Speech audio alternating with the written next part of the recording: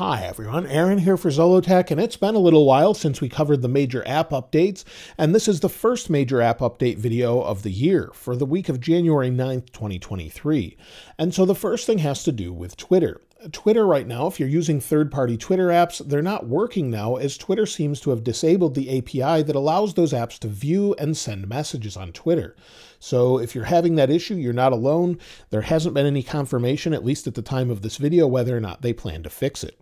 Also, they recently forced a sort of algorithmic for you timeline, which is really not that great. So I prefer to see the one I want to see, and it changed recently with this latest update. So that's something that I'm not really a fan of, but maybe they'll change that in the future.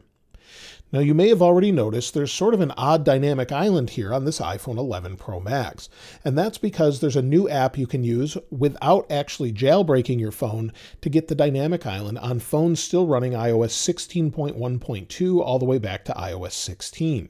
Now, this is not a jailbreak, like I said, but it does use the Alt Store with an app called Dynamic Cow that allows you to configure the dynamic island as it was on the iPhone 14 Pro and 14 Pro Max. So you can see it here, although it's sort of blocked by the notch. Press and hold, it brings open either the timer or your music. You can cancel that, swipe home, it goes away. It acts just like the dynamic island on any iPhone. So it sort of works well, but it's not something that I would use regularly as it's blocked by the notch. You can see it's reacting to what I'm doing. If I go back into music, wait for it to load here and cancel that, hit play, and swipe home, it goes up into the dynamic island. So it's kind of neat that it's there, but it's something that I probably wouldn't use regularly. But you can use without jailbreaking. You just have to use a Mac or Windows computer and sort of push this to the alt store. So I thought I'd just share that. Now, WhatsApp will now allow you to use a proxy server in order to connect.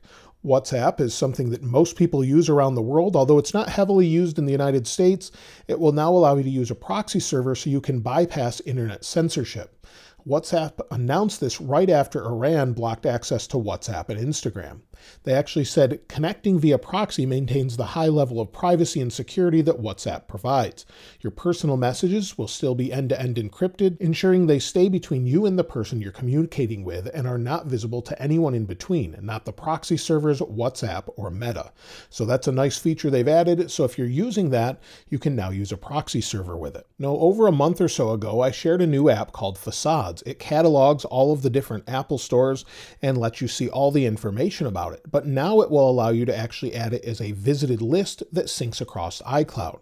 So if I find my local store here, one of them, Apple South Park in Charlotte, you'll see here that if we tap on the visit button, we can say the date we visited, maybe put in any notes about what we purchased, and then hit save. We'll now have that in our list of visited stores. So that's a really nice way to catalog maybe where you visited if you wanted to do that, or just learn more information about it. This is a really great, simple app that tells you about all the Apple stores around the world. So pretty much anything here. So if we look for Singapore, I haven't been to that one yet, but you can see it here. Apple Marina Bay Sands, and it gives more information about it.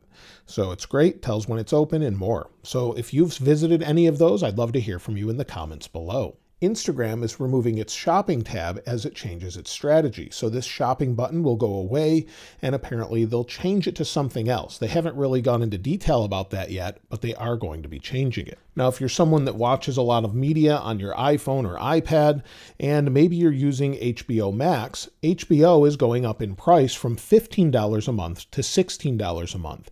It seems more and more companies are doing this, such as Apple TV Plus and others. So as they're raising prices, unfortunately, if you're using those, you'll see some price increases there as well.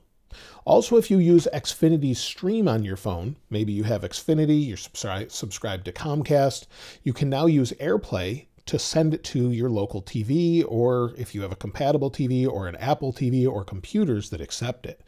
So that's something they've updated if you use Xfinity Stream. Now, if you try out all of the different beta updates or some of the previews that Apple has, Apple released Safari Technology Preview version 161. And you can see that here if you want to try it out for macOS Ventura or macOS Monterey. It gives more information about it and shows the latest technology. You'll see it's version 161 that released on January 12th. So if that's something that interests you, it's available now with bug fixes and more. Now, also, we had iOS 16.3 Beta 2 this week. I'll have a follow up about that probably tomorrow or in a couple days at this point, talking about any remaining bugs, how it is compared to iOS 16.2, and when to expect the final releases and more. So be sure to check that out.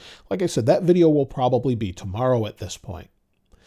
Now, Apple has updated a couple different apps. Fitness Plus is one of them. They updated this this past week with some new updates with artist spotlights with Beyonce. They have some new time to walk. They have a new kickboxing section and new sleep meditations as well. So all of those things have been added. You'll see time to walk, and sleep meditations here also. So if you want to use any of those, those are now available if you subscribe to Fitness Plus. Apple Books gets an update this week with AI digital narration. And if we go into Safari, Apple talks more about this and you can hear what it actually sounds like.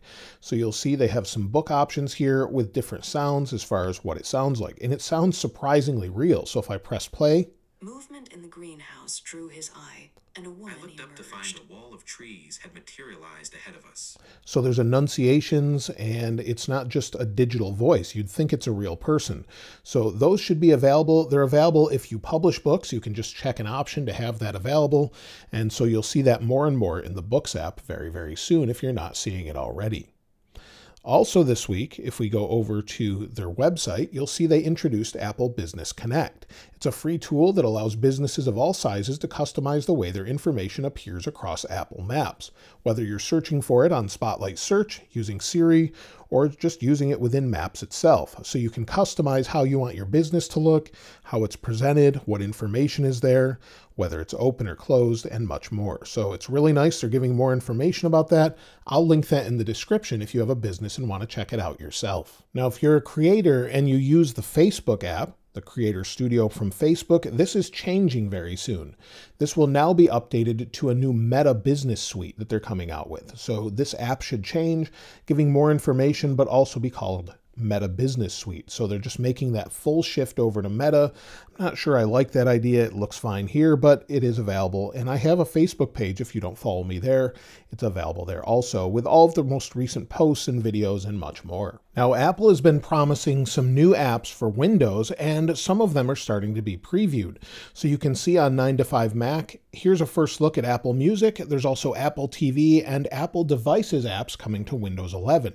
However, they're showing up in the App Store, but they don't seem to be downloadable yet. So they'll have a very familiar look and will be eventually downloadable, where you'll have Apple TV, your Apple Music, and basically the same thing we have on on a Mac, and then you'll be able to use it for sync and backup and more like we have on Mac for quite some time. So if you're already installing these, I'd love to hear from you in the comments below if you've tried these out. Some people have asked me to actually cover these, but I haven't been able to install them yet. Let me know if you are in the comments below. Now, as we're seeing more and more pro apps launch on the iPad with DaVinci Resolve to fully edit video, I'm expecting some updates fairly soon, hopefully maybe by WWDC, where we have updates to not only pages numbers and Keynote, but also Final Cut Pro, maybe Logic Pro that are coming to iPad. I would love to see those updates as we're seeing more and more usable Pro apps launch on iPad, but Apple hasn't launched their own yet. So hopefully we see those soon. And I did want to share one more thing and that is some new wallpapers by Basic Apple Guy. So of course I'll link this wallpaper in the description, but Basic Apple Guy also lists different wallpapers every so often, and this is called Saltern Study. And it says it's a collection of cubist wallpapers paying homage to an incredible Canadian photographer and one of my favorite images Apple used marketing the iPad Pro in 2016.